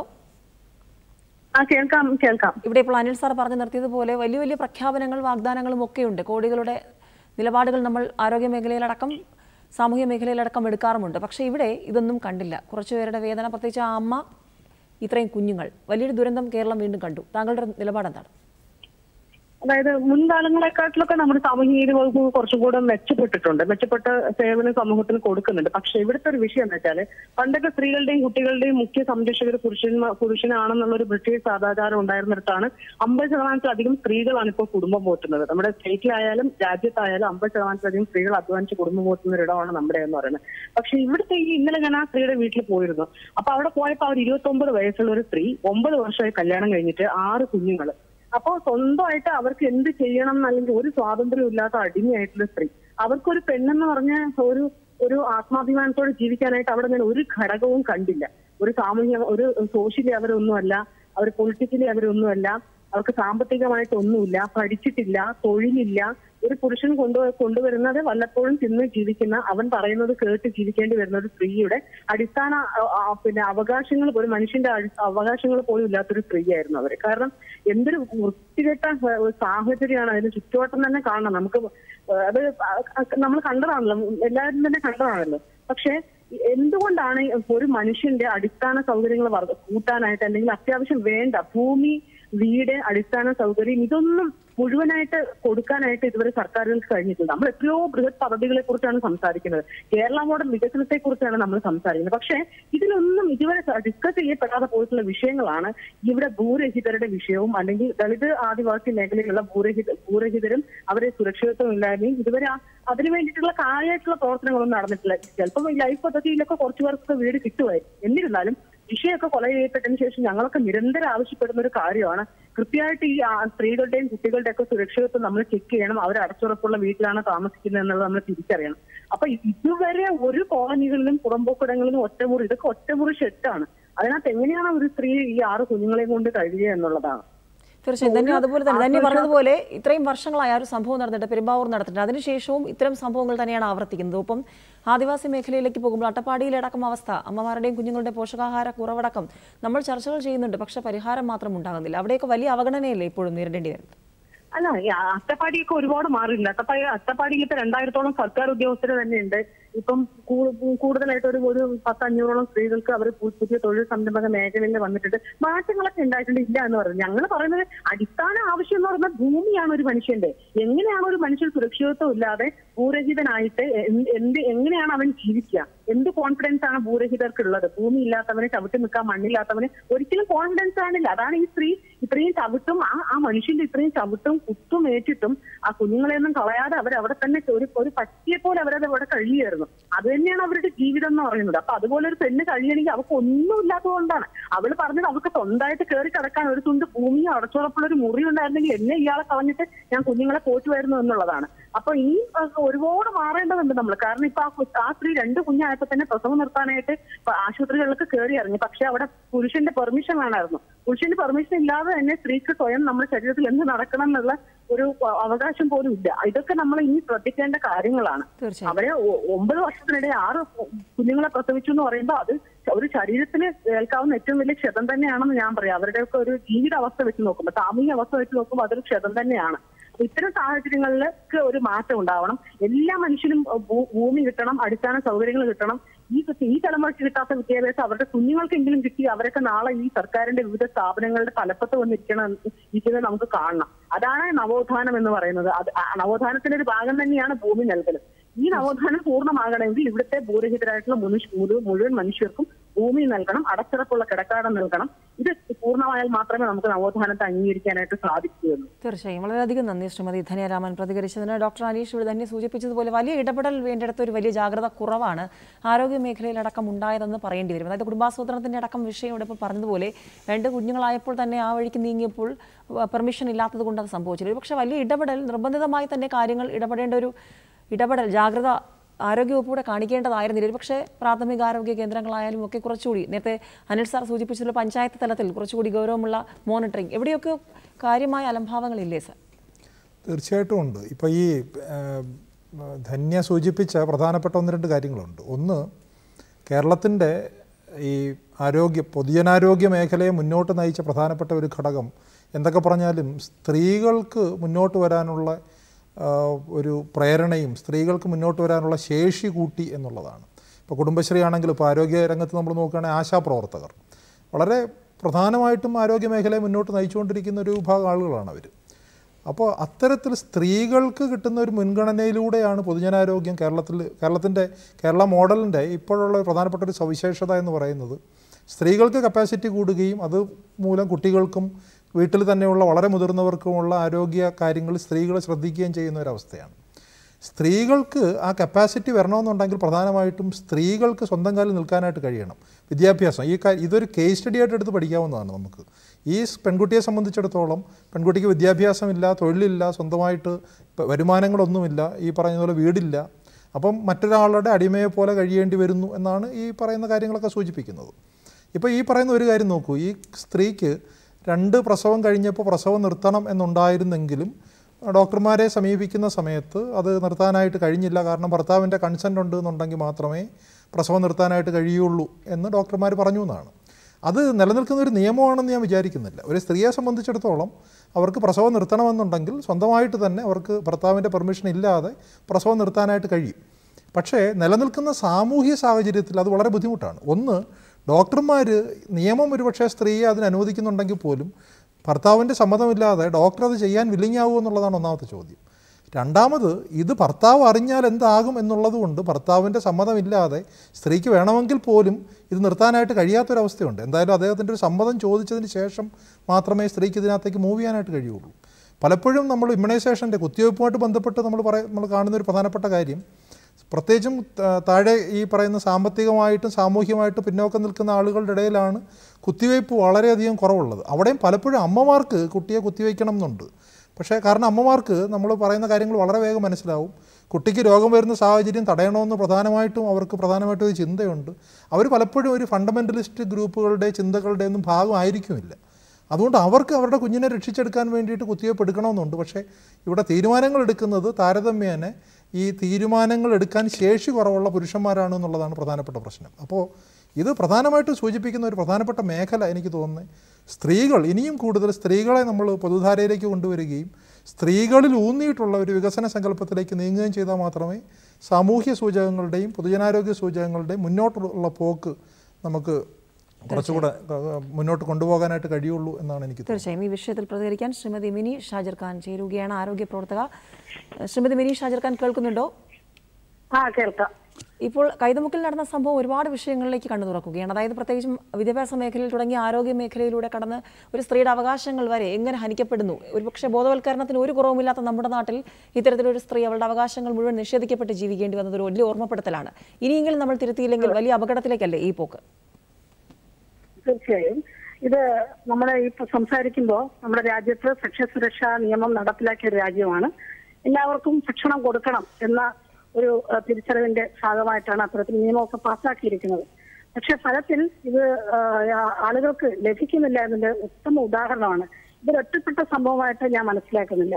നിരന്തരമായി വീട് വീടാന്തരമുള്ള പ്രചാരണ പ്രവർത്തനങ്ങളിൽ നമുക്ക് മനസ്സിലാവുന്നത് സമാനമായ സാഹചര്യത്തിൽ ഒരുപക്ഷെ ഇതിനേക്കാൾ കൂടുതൽ ദയനീയമായ സാഹചര്യത്തിൽ വരെ നമ്മുടെ നാട്ടിൽ നമ്മുടെ ഈ നഗരത്തിലടക്കം ആളുകൾ താമസിക്കുന്നുണ്ട് എന്നുള്ളത് നമ്മുടെ എല്ലാ വകുപ്പുകളും കണ്ണു തുറന്ന് കാണേണ്ടുന്ന ഒരു വിഷയമാണ്. കാരണം ഇവിടെ ഓരോ കാര്യങ്ങളിൽ ഇപ്പം ആരോഗ്യ പരിരക്ഷാ രംഗത്ത് വിവിധ പദ്ധതികൾ നടപ്പിലാക്കിക്കൊണ്ട് സ്ത്രീകളുടെ കുട്ടികളുടെ ഗർഭിണികളുടെ ചെറിയ കുഞ്ഞുങ്ങളുടെ ഒക്കെ ക്ഷേമത്തിന് വേണ്ടി നിരവധി പ്രവർത്തനങ്ങൾ നടക്കുന്നു എന്ന് ഗവൺമെന്റ് അവകാശപ്പെടുന്നതിനിടയിലാണ് നമുക്ക് ഈ സംഭവം വന്നിരിക്കുന്നത്.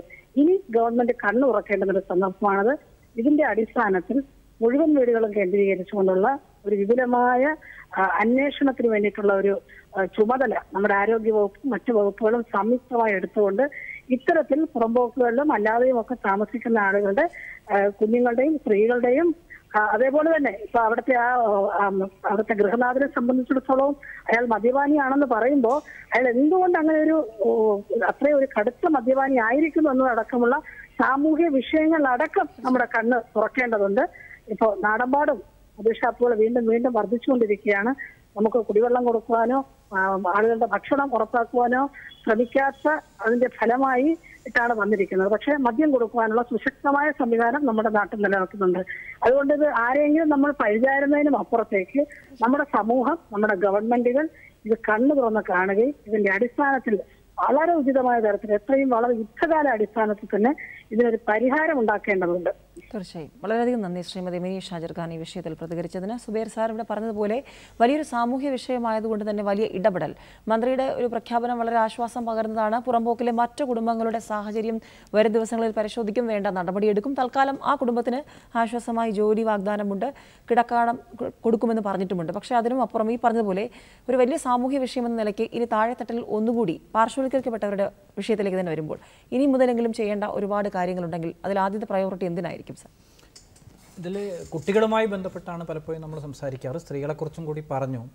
ഇതിൽ കൃത്യമായിട്ട് ഒരു മിഷനിലേക്ക് നമ്മൾ പോവേണ്ടതുണ്ട് എന്ന് തന്നെയാണ് തോന്നുന്നത്. കേരളത്തിൽ ഈ ഗവൺമെന്റ് വന്നതിന് ശേഷം ആർദ്രം ഹരിത കേരളം തുടങ്ങിയ അഞ്ചോ ആറോ മിഷനുകൾ നമ്മൾ രൂപീകരിച്ചിരുന്നു. ആ അഞ്ചോ ആറോ മിഷനിൽ വളരെ കൃത്യമായിട്ട് ഇടപെടൽ നടക്കുന്നുണ്ട്. നമുക്ക് തന്നെ അറിയാം എന്തെല്ലാം പറഞ്ഞാലും പൊതുവിദ്യാഭ്യാസ സംരക്ഷണ യജ്ഞമൊക്കെ ഒരുപാട് കുട്ടികളെ പൊതുവിദ്യാഭ്യാസ രംഗത്തേക്ക് എത്തിക്കുകയും അതോടൊപ്പം തന്നെ പൊതുവിദ്യാഭ്യാസ മേഖലയിൽ വലിയ മാറ്റം ചില പ്രതിസന്ധികൾ ഉണ്ടെങ്കിലും വലിയ മാറ്റം രൂപീകരിക്കാനും കേരളത്തിൽ കഴിഞ്ഞിട്ടുണ്ട്. അതുപോലെ ഈ പാർശ്വവൽക്കരിക്കപ്പെട്ട അല്ലെങ്കിൽ ഏറ്റവും ബുദ്ധിമുട്ട് അനുഭവിക്കുന്ന കുട്ടികളെയും സ്ത്രീകളെയും ലാക്കാക്കി കൃത്യമായ ഒരു അടയാളപ്പെടുത്തൽ വൾണറബിലിറ്റി മാപ്പിംഗ് കേരളത്തിൽ നടത്തുക. ആ വൾണറബിലിറ്റി മാപ്പിങ്ങിന്റെ അടിസ്ഥാനത്തിൽ അങ്ങനെയുള്ള കുടുംബങ്ങളെ കണ്ടെത്തുക. ആ കുടുംബങ്ങളെ നിലവിലുള്ള സംവിധാനങ്ങളെയും അതോടൊപ്പം തന്നെ വേണമെങ്കിൽ പുതിയ സംവിധാനങ്ങളെയും. ഇപ്പോൾ ഒരു പ്രൊഫഷണൽ അപ്രോച്ചിന്റെ കാലമാണ്. കാലം ഒരുപാട് മാറി. എല്ലാ മേഖലയിലും വളരെ കൃത്യമായ മാറ്റം നമുക്ക് അനുഭവപ്പെടുന്നുണ്ട്. മുമ്പ് കളിച്ചതുപോലെ അല്ല ഫുട്ബോൾ ഇന്ന്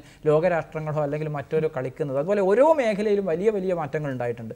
അതിന്റെ അടിസ്ഥാനത്തിൽ പ്രൊഫഷണലായിട്ട് ഒരു സോഷ്യൽ വർക്ക് അപ്രോച്ച് തന്നെ ഇക്കാര്യത്തിൽ സ്കാൻഡിനേവിയൻ രാജ്യങ്ങളൊക്കെ രൂപീകരിച്ചതുപോലെ അത്രയും നമ്മുടെ ജനസംഖ്യയുടെ ഒക്കെ പ്രതിസന്ധി ഉണ്ട് അവരെ സംബന്ധിച്ചിടത്തോളം. അല്ലെങ്കിൽ ഓസ്ട്രേലിയ ഒക്കെ രൂപീകരിച്ചതുപോലെ ഏത് കുടുംബത്തിനും അവർ അവർക്ക് ആവശ്യമുള്ള ഒരു സംവിധാനം ഓരോ മാസവും ചെന്ന് നോക്കാനും ആ ചെന്ന് നോക്കുന്നതിന്റെ അടിസ്ഥാനത്തിൽ കൃത്യമായിട്ട് ഒരൊറ്റ ക്ലിക്കിൽ എന്താണ് അവരുടെ ആവശ്യം എന്നുള്ളത് ഏത് ഏജൻസി എത്തണം എന്നുള്ളത് അറിയിക്കാനും അങ്ങനെ ആ ക്ലിക്കിൽ എത്തുന്ന ഏജൻസി എത്രയും പെട്ടെന്ന് അത് സാക്ഷാത്കരിച്ചു കൊടുക്കുകയും അത് സാക്ഷാത്കരിച്ചു കൊടുത്ത ഉടനെ തന്നെ അടുത്തത് എന്താണ് അവിടെ ആവശ്യമുള്ളത് എന്ന് അറിയിക്കുകയും ചെയ്യുന്ന രീതിയിൽ ഒരു വലിയ മിഷൻ സംവിധാനം നമുക്ക് ആവശ്യമുണ്ട്. അപ്പോൾ അതിന് നിലവിലുള്ള സാങ്കേതിക വിദ്യകളെയൊക്കെ നമുക്ക് ഉപയോഗപ്പെടുത്തേണ്ടതുണ്ട്. ആദ്യം വൾണറബിലിറ്റി മാപ്പിംഗ് അതിനുശേഷം ഈ മിഷൻ രൂപീകരിക്കുന്നു. മിഷന് ശേഷം വളരെ കൃത്യമായിട്ട് ഇത്തരം ഒരു സംവിധാനം നമ്മുടെ തദ്ദേശ സ്വയംഭരണ സ്ഥാപനങ്ങളുടെയും സാമൂഹ്യനീതി ഉൾപ്പെടെയുള്ള ആരോഗ്യം ഉൾപ്പെടെയുള്ള മറ്റ് സംവിധാനങ്ങളൊക്കെ ഉൾപ്പെടെയുള്ള ഒരു പൊതു സംവിധാനമായിട്ട് മാറ്റിയെടുക്കുകയും ചെയ്താൽ ഈ പാർശ്വവൽക്കരിക്കപ്പെട്ട അല്ലെങ്കിൽ കേരളത്തിന്റെ പുരോഗതിയോടൊപ്പം ഓടിയെത്താത്ത വളരെ ചെറിയൊരു വിഭാഗത്തെ കൂടി കേരളത്തിന്റെ ഒപ്പം എത്തിക്കാൻ പത്തോ ഇരുപതോ കൊല്ലം കൊണ്ട് നമുക്ക് കഴിയും എന്നുള്ളത് തന്നെയാണ് എന്റെ ഒരു വിശ്വാസം. ആ വിശ്വാസത്തിന്റെ അടിസ്ഥാനത്തിലുള്ള പദ്ധതികളായിരിക്കും വനിതാ വിശു ശിശു വികസന വകുപ്പായാലും സാമൂഹ്യനീതി വകുപ്പായാലും അതോടൊപ്പമുള്ള മറ്റു വകുപ്പുകളായിരിക്കും രൂപീകരിക്കാൻ കഴിയുക എന്നുള്ളതാണ് ഇതിനോട് തീർച്ചയായും. അനിൽ സാർ ചർച്ചയുടെ അവസാന ഘട്ടത്തിലേക്ക് കടക്കുമ്പോൾ അദ്ദേഹം പറഞ്ഞ പോലെ പ്രതീക്ഷകളുണ്ട് ചെയ്യാനും ഒരുപാടുണ്ട്. പക്ഷെ നമ്മൾ ചില സാഹചര്യങ്ങൾ പ്രത്യാശയോടെ കാണുമ്പോൾ പോലും നിരാശ ഉണ്ടാകുന്നത് നേരത്തെ തന്നെ സൂചിപ്പിച്ച അടച്ചുറപ്പുള്ള വീട് അന്ന് വലിയ വാഗ്ദാനമായിരുന്നു. പക്ഷെ വീണ്ടും കണ്ട സാഹചര്യം അതായതുകൊണ്ട് വർഷങ്ങൾ പിന്നിടുമ്പോൾ ഇനിയൊരു ആശങ്ക ഉണ്ടാകരുതെന്ന് കരുതുമ്പോൾ ഒരു സംഭവം ഉണ്ടാകുമ്പോഴാണ് നമ്മൾ വീണ്ടും അതിന്റെ ഗൗരവത്തെക്കുറിച്ച് ചിന്തിക്കേണ്ടി വരുന്നത് പലപ്പോഴും. അവിടെ താങ്കൾ നേരത്തെ സൂചിപ്പിച്ച ഒരു പഞ്ചായത്ത് തലം മുതൽ ഇനി വേണ്ട സന്നാഹങ്ങൾ എന്താണ് ക്രമീകരണങ്ങൾ എന്തായിരിക്കണം? വളരെ അടിസ്ഥാനപരമായ പ്രശ്നങ്ങൾ.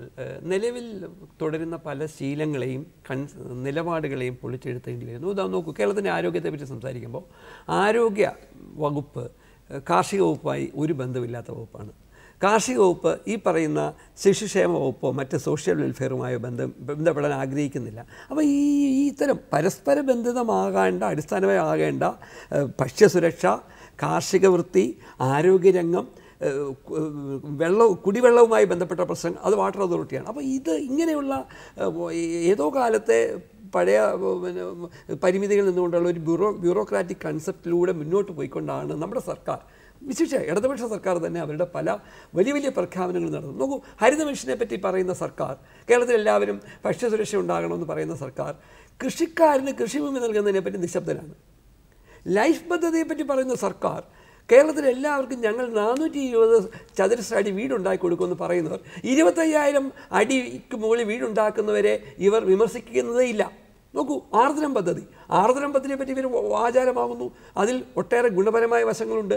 എന്നാൽ സ്വകാര്യ പ്രാ ചികിത്സയെപ്പറ്റി ഇവർ നിരുത്സാഹപരമായ സമീപനം എടുക്കുന്നില്ല. അപ്പോൾ മൊത്തത്തിൽ ഞാൻ മുമ്പ് പറഞ്ഞതുപോലെ ഈ വിഷയങ്ങളുടെ സൂക്ഷ്മ സ്ഥൂലതലങ്ങളെ ജനാധിപത്യപരമായും ജനകീയമായും സംബോധന ചെയ്യാൻ നമ്മുടെ സർക്കാർ നിലവിലുള്ള സർക്കാരും പരാജയപ്പെടുമ്പോഴും വലിയ വലിയ പ്രഖ്യാപനങ്ങളും ഒരു പക്ഷേ പ്രഖ്യാപനങ്ങളോടൊപ്പം വരുന്നില്ലെങ്കിൽ ചെറിയ മാറ്റങ്ങൾ ഉണ്ടാകുന്നു അടിസ്ഥാനപരമായി ധന്യ പറഞ്ഞു തന്നെയാണ് പ്രശ്നം. കേരളം വളരുകയാണ്. എന്നാൽ ഈ വളർച്ചയിൽ അതിന്റെ വിഭവങ്ങൾ കുറേ ആളുകളിൽ യഥേഷ്ടമെത്തുകയും ഒരു പറ്റം ആളുകളിൽ ഒന്നും ലഭിക്കാതിരിക്കുകയും ചെയ്യുന്ന ഒരു ഉള്ളവനും ഇല്ലാത്തവനും തമ്മിലുള്ള അന്തരം അവിശ്വസനീയമായി വർദ്ധിക്കുന്ന വലിയൊരു ദുരന്ത ഭൂമിയായി കേരളം മാറുന്നു. കേരളത്തെപ്പറ്റി ഉണ്ടായിരുന്ന ഏറ്റവും വലിയ നന്മ ഉള്ളവനും ഇല്ലാത്തവനും തമ്മിലുള്ള അന്തരം ഏറ്റവും കുറവുള്ള ഒരു ഇടമെന്നായിരുന്നു. ആ ഒരു ഒരു ധാരണ മാറിക്കൊണ്ടിരിക്കുന്നതിന് തെളിവാണിത്. അപ്പോഴും ഞാൻ പറയുന്നു ഈ ഒറ്റ സംഭവത്തെ ഒറ്റ സംഭവമായി കാണരുത്. കേരളത്തിലെ മുഴുവൻ ഇടങ്ങളിലും മുഴുവൻ ജില്ലകളിലും മുഴുവൻ പഞ്ചായത്തുകളിലും അവിടുത്തെ ഗ്രാമസഭകൾ അടുത്ത ദിവസങ്ങൾ കൂടി അവിടുത്തെ കുടുംബശ്രീകൾ കൂടി കേരളത്തിലെ യുവജന സംഘടനകൾ കൂടി ഇത്തരം ഏതെങ്കിലും വീടുകളിൽ ഇത്തരം അനാശാസ്യപരമായ അനുഭവങ്ങൾ ഉണ്ടാകുന്നുണ്ടെങ്കിൽ അത് സംസ്ഥാന സർക്കാരിന്റെ മുന്നിൽ അവതരിപ്പിച്ച് സമയബന്ധിതമായി ഇനിയൊരു സംഭവം കേരളത്തിൽ ഉണ്ടാകാത്ത സാമൂഹ്യ പശ്ചാത്തലം രാഷ്ട്രീയമായ തീരുമാനങ്ങൾ ഉണ്ടാക്കാൻ വരും ദിനങ്ങളിൽ നമ്മൾ ഒറ്റക്കെട്ടായി മുന്നോട്ട് വരുമോ എന്നതാണ് ഈ സംഭവം നമ്മുടെ മുന്നിൽ ഉന്നയിക്കുന്ന ചോദ്യം. തീർച്ചയായും. അനീഷ് സാർ നമ്മൾ ചർച്ച അവസാനിപ്പിക്കുമ്പോൾ പോഷണാന്തം അടക്കമുള്ള പുതിയ പ്രഖ്യാപനങ്ങൾ വരുമ്പോൾ അത് പ്രതീക്ഷയാണ്. അട്ടപ്പാടിയിലെ കാര്യം നേരത്തെ തന്നെ സൂചിപ്പിച്ചതുപോലെ ആശ്വാസത്തിന് വകയുണ്ട് എങ്കിലും സാർ സൂചിപ്പിച്ചതുപോലെ ഒറ്റപ്പെട്ട സംഭവമായി കാണാതെ അങ്ങോളം ഇങ്ങോളം അടിയന്തരമായി ചെയ്യേണ്ട കുറച്ച് കാര്യങ്ങളുണ്ടെങ്കിൽ ആരോഗ്യവകുപ്പ് അടക്കം എന്താണ് അടിയന്തരമായി ഈ വിഷയത്തെ മുന്നിൽ കണ്ട് ചെയ്യേണ്ടത്? തീർച്ചയായിട്ടും ഇത് വളരെ പ്രധാനപ്പെട്ട ഒരു ചോദ്യമാണ്. ആർദ്രം എന്ന് പറയുന്ന വളരെ ബ്യൂട്ടിഫുൾ ആയിട്ടുള്ള ഒരു പദ്ധതി നമ്മുടെ മുന്നിലുണ്ട്. പക്ഷെ പലപ്പോഴും ആർദ്രം ചില മേഖലകളിൽ പരാജയപ്പെടുന്നത് ഈ പറഞ്ഞ പോലെ. ഇപ്പോൾ കേരളത്തിൽ നമ്മൾ തൊണ്ണൂറ്റി ഒൻപത് ശതമാനം പ്രസവങ്ങൾ ഇൻസ്റ്റിറ്റ്യൂഷൻസിൽ ഡോക്ടർമാരുടെ സഹായത്തോടുകൂടി ചെയ്യുന്നു എന്ന് പറയുമ്പോൾ ഒരു ശതമാനം ഏത് എന്ന് കണ്ടെത്താനായിട്ടാണ് നമ്മൾ ശ്രമിക്കേണ്ടത്. അതാണ് നമ്മുടെ പ്രശ്നം. നമ്മൾ ആവറേജുകൾ സൂചികകൾ ഉയരുമ്പോൾ നമ്മൾ ആ സൂചികയിൽ ഉൾപ്പെടാത്ത ആളുകളെ പറ്റി കൂടുതൽ ചിന്തിക്കണം. ഇപ്പോൾ മറ്റേണൽ മോർട്ടാലിറ്റി എന്ന് പറയുന്നത് ഇന്ത്യയിൽ മൊത്തം ഒരു ലക്ഷം പ്രസവത്തിൽ നൂറ്റി അൻപത് അമ്മമാർ മരിക്കുമ്പോൾ കേരളത്തിൽ മുപ്പതിൽ താഴെ അമ്മമാരെ മരിക്കുന്നുള്ളൂ. പക്ഷേ കൃത്യമായിട്ട് ആ മുപ്പത് അമ്മമാർ ആരാണ് എന്ന് കണ്ടെത്തുകയും അതിന് സാമൂഹികമായിട്ടുള്ള എന്തെങ്കിലും കാരണങ്ങളുണ്ടോ എന്ന് കണ്ടെത്തുകയും അതിനെ പരിഹരിക്കുകയും ചെയ്യുകയും അവരെ കൂടി പൊതുവായിട്ടുള്ള വികസനത്തിന്റെ ഭാഗഭാക്കാക്കുകയും ചെയ്യുമ്പോൾ മാത്രമേ വികസനം മുന്നോട്ട് പോവുകയുള്ളൂ. അപ്പോൾ അതുകൊണ്ട് തന്നെ ആവറേജുകൾ നമ്മൾ മാറ്റിവെക്കുകയും നമ്മുടെ കൂട്ടത്തിൽ കൂടാതെ പോകുന്ന ഇത്തരത്തിലുള്ള ആളുകളെ കൂടി പ്രത്യേകിച്ച് അർബൻ ഏരിയയിൽ ഇപ്പോൾ പഞ്ചായത്തുകൾ കുറച്ചുകൂടെ ഇത്തരത്തിലുള്ള കാര്യങ്ങൾ എളുപ്പമാണ്. പക്ഷേ കോർപ്പറേഷൻ പോലെയുള്ള വളരെ വലിയ ഏരിയകളിൽ ഇത്തരത്തിൽ ഒതുങ്ങിക്കൂടുന്നത് ഇപ്പം ബോംബെയിലൊക്കെ ആണെങ്കിൽ സ്ലം എന്ന് പറയുന്നത് തന്നെ കോടിക്കണക്കിന് ആളുകളുണ്ടാവും. ഒരുപക്ഷെ അതിനുവേണ്ടി തന്നെ ഒരു പദ്ധതി ഒരുപക്ഷെ അവിടെ ഉണ്ടാകും. പക്ഷേ നമ്മുടെ നാട്ടിൽ ചുരുക്കം ആളുകളായിരിക്കും ഒരുപക്ഷെ ഇത്തരത്തിലുള്ള പുറമ്പോക്കുകളിൽ താമസിക്കുന്നത്. പക്ഷെ അവരെയും നമ്മുടെ കൂട്ടത്തിൽ കൂട്ടുക എന്ന് പറയുന്നത് ഒരു പ്രത്യേക മിഷനായിട്ട് എടുത്തു തന്നെ അത് ആർദ്രം പദ്ധതിയുടെ അല്ലെങ്കിൽ ഇത്തരത്തിൽ ഗവൺമെന്റിന്റെ പ്രധാനപ്പെട്ട ഫ്ലാഗ്ഷിപ്പ് പ്രോഗ്രാംസിന്റെ ഭാഗമാക്കുന്നതിലൂടെ മാത്രമേ നമുക്ക് ഏതെങ്കിലും രീതിയിൽ ഇത് മുന്നോട്ട് കൊണ്ടുപോകാനായിട്ട് കഴിയുള്ളൂ എന്നാണ് എനിക്ക് തോന്നുന്നത്. സുബേർ സർ സാമൂഹ്യനീതി വകുപ്പ് അടിയന്തരമായി ഈ വിഷയം മുന്നിൽ കണ്ട് വരും ദിവസങ്ങളിലുള്ള കർമ്മ പരിപാടികൾ അതിലേക്ക് കൂടി പോകുമ്പോൾ. തീർച്ചയായിട്ടും. ഇത് ഇതിൽ പിന്നെ നമ്മൾ പറഞ്ഞു കഴിഞ്ഞു കേരളത്തിൽ വലിയ പ്രതിസന്ധി അനുഭവിക്കുന്ന സാമൂഹ്യനീതിയുടെ ഒരു മേഖലയാണിത്. നമ്മൾ പോക്സോയുടെ ചർച്ച കേരളം മുഴുവൻ നടത്തിയതാണ്. അപ്പോൾ പോക്സോ എന്ന് പറയുന്നത് ആയിരത്തി പതി- പതിനാലായിരത്തി തൊള്ളായിരത്തി പത്ത് കുട്ടികൾ ഒക്ടോബർ വരെ കേരളത്തിൽ പോക്സോയിൽ പെട്ടിട്ടുണ്ട്. ആ കുട്ടികളിലും വലിയൊരു വിഭാഗം ഒരു തരത്തിൽ അല്ലെങ്കിൽ മറ്റൊരു തരത്തിൽ പാർശ്വവൽക്കരിക്കപ്പെട്ട വിഭാഗത്തിൽപ്പെട്ടതാണ് എന്നാണ് ഞങ്ങൾ കണക്കാക്കിയപ്പോൾ മനസ്സിലാവുന്നത്.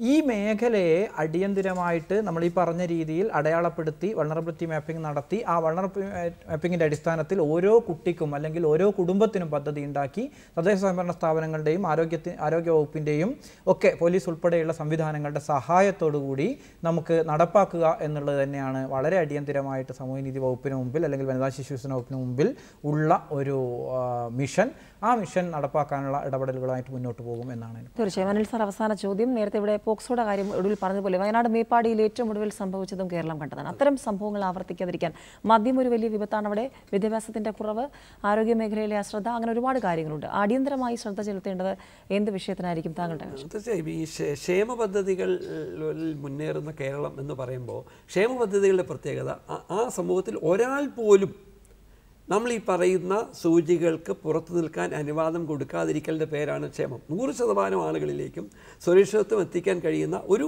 പൊതു സംവിധാനമായി കേരളം വളരണമെങ്കിൽ കഴിഞ്ഞ നാളുകളിലെ പരിമിതികൾക്കൊപ്പം ഇന്ന് നമ്മൾ അനുഭവിക്കുന്ന ഒട്ടേറെ രാഷ്ട്രീയപരമായ പ്രതിസന്ധികളെയും കൂടി പരിഹരിക്കേണ്ടത് നോക്കൂ ഇന്ത്യയിൽ ഏറ്റവും കൂടുതൽ മാലിന്യമടിഞ്ഞ തീരപ്രദേശം കേരളത്തിന്റേതാണെന്ന് പറഞ്ഞാൽ കേരളത്തിലെ നമ്മുടെ കിണറുകളിൽ കോളിഫോം ബാക്ടീരിയയുടെ അളവ് വളരെ കൂടുതലാണെന്ന് പറഞ്ഞാൽ നമ്മുടെ നഗരങ്ങളിൽ വിതരണം ചെയ്യുന്ന കുടിവെള്ളത്തിൽ അതിന്റെ ഗുണനിലവാരം ഇന്ത്യയിൽ ഏറ്റവും മുന്നിൽ നിൽക്കുന്ന ലിസ്റ്റിൽ വരുന്നില്ല എന്ന് പറഞ്ഞാൽ നമ്മൾ എന്തൊക്കെ പറഞ്ഞാലും കേരളം നമ്മൾ ആഗ്രഹിക്കുന്ന തരത്തിലേക്ക് എത്തുന്നില്ല. അത് എത്താതിരിക്കുന്നത് ഈ പറയുന്ന ചെറിയ ചില പഴുതുകൾ കൊണ്ടാണെന്ന് എനിക്ക് പറയാൻ കഴിയും. കാരണം സമഗ്രമായി കാര്യങ്ങളെ അവതരിപ്പിക്കുന്നു. എന്നാൽ സൂക്ഷ്മതലത്തിൽ വരുമ്പോൾ എവിടെയൊക്കെ ചില പാളിച്ചകൾ ഉണ്ടാകുന്നു. ആ പാളിച്ചകളുടെ അടിസ്ഥാനപരമായ കാരണം ഈ പറയുന്ന കേരളത്തിന്റെ പൊതുസമൂഹത്തിന്റെ ഭാഗമായി പാർശ്വവൽക്കരിക്കപ്പെടുന്നവരെ മുന്നിൽ നിർത്തിക്കൊണ്ടുള്ള പദ്ധതികളെ പറ്റി ആലോചിക്കാതിരിക്കുന്നതും ഈ പറയുന്ന മദ്യത്തിനും ഈ ചൂതാട്ടത്തിനുമൊക്കെ സർക്കാർ തന്നെ കൊടുക്കുന്ന പ്രത്യേക പരിഗണനയുമാണ്. അതുകൊണ്ട് കേരളത്തിലെ പാർശ്വവൽക്കരിക്കപ്പെടുന്നവരെ മുഖ്യധാരയിലേക്ക് കൊണ്ടുവരാൻ കഴിയുന്ന തരത്തിലേക്ക് ഭൂമിയുടെ പുനർവിതരണം അവരുടെ വിദ്യാഭ്യാസ നിലവാരം അവരുടെ ആരോഗ്യ പ്രശ്നങ്ങൾ അവരുടെ സാമൂഹ്യപരമായി ഇന്ന് അനുഭവിക്കുന്ന പ്രതിസന്ധികളെയൊക്കെ ഗൗരവതരമായി കാണുന്ന തരത്തിലും മറ്റൊരു പ്രധാന കാരണം കേരളത്തിൽ സർക്കാർ ഇതര മേഖലയിൽ സ്വകാര്യ മേഖലയിൽ സ്ത്രീകൾക്കും പുരുഷന്മാർക്കും രണ്ട് വേതനമാണെന്ന് പറഞ്ഞാൽ കേരളീയർക്ക് വിശ്വസിക്കാൻ കഴിയില്ല. അപ്പോൾ സ്ത്രീകളെ ഇന്നും കേരളീയ പൊതുസമൂഹം പൊതുമേഖലയിൽ നിന്ന് പുറത്തു കണ്ടാൽ അവർക്ക് രണ്ടാം തരം വേതനം കൊടുത്താൽ മതി എന്ന് പറയുന്ന ഒരു കേരളത്തിലാണ് സ്ത്രീകളെ മുന്നിൽ നിർത്തിക്കൊണ്ട് നമ്മുടെ സാമൂഹ്യ സുരക്ഷിതത്തെപ്പറ്റി പറ്റി പറയുന്നത്. അതുകൊണ്ട് നമ്മുടെ സമീപനങ്ങളിൽ ചെറിയ ചെറിയ പാളിച്ചകൾ ഗൗരവതരമായ പ്രതിസന്ധി ഉണ്ടാക്കാനുള്ള സാധ്യത മുന്നിൽ കണ്ട് സമഗ്രമായ ഒരു സുതാര്യമായ പൊളിച്ചെടുത്തുണ്ടാകണം. അതിന് എല്ലാ രാഷ്ട്രീയ പ്രസ്ഥാനങ്ങളുടെയും സാമൂഹ്യ സംഘടനകളുടെയും പിന്തുണ വേണം. അതിന് ഗ്രാമസഭകൾ മുതൽ നമ്മുടെ ക്യാബിനറ്റ് വരെ ഉണർന്ന് പ്രവർത്തിക്കണം. ആ ഉണർന്ന് പ്രവർത്തിക്കുമ്പോൾ നമ്മുടെ ഉദ്യോഗസ്ഥ വൃന്ദങ്ങൾ അതനുസരിക്കാൻ ബാധ്യസ്ഥമാകണം. അതിന് ഒരു അവസരമുണ്ടാക്കുന്ന തരത്തിലേക്ക് തിരുവനന്തപുരം സംഭവത്തെ മാ മാറ്റിയെടുക്കുവാൻ കഴിഞ്ഞാൽ അതിനെ ഇച്ഛാശക്തിയോടെ കാണാൻ കഴിഞ്ഞാൽ തീർച്ചയായും. കേരളത്തിന്റെ ഭാവി കുറെ കൂടി മെച്ചപ്പെട്ടതാകുമെന്ന് പ്രതീക്ഷിക്കാം. തീർച്ചയായും. ഓരോ കർമ്മ പരിപാടികളും സമഗ്രമായ അവതരണത്തിൽ മാത്രം ഒതുങ്ങേണ്ടതല്ല. കൃത്യമായ പൊളിച്ചെടുത്ത് തന്നെ ഇനിയെങ്കിലും ഉണ്ടാകണം. ഇത്തരം സംഭവങ്ങൾ ഇനിയെങ്കിലും ആവർത്തിക്കാതിരിക്കട്ടെ. വളരെയധികം നന്ദി doctor Aneesh. Shri K K Subair ഒപ്പം ശ്രീ ഇ പി അനിൽ ഈ ചർച്ചയിൽ പങ്കെടുത്തതിന് വർത്തമാനകാലം ഇവിടെ പൂർണമാവുകയാണ്. മറ്റൊരു വിഷയവുമായി അടുത്ത ദിവസം ഇതേ സമയം. നന്ദി നമസ്കാരം.